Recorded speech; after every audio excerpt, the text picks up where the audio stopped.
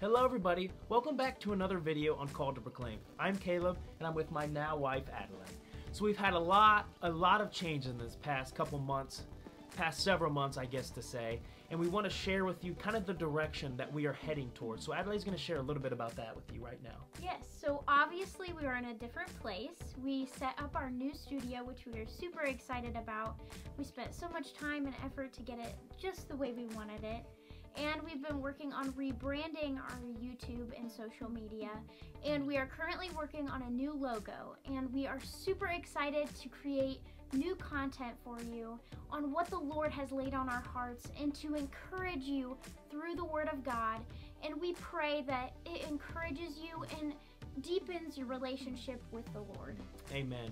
We ask that you can continue to keep called to proclaim in your prayers as we are heading in, in a new direction, trying to get the mind of Christ in everything that we do. So continue to be praying for us, and we pray that this blesses you. So we're so thankful for all you guys who support us and everyone that, that watches and likes our videos. Thank you very much.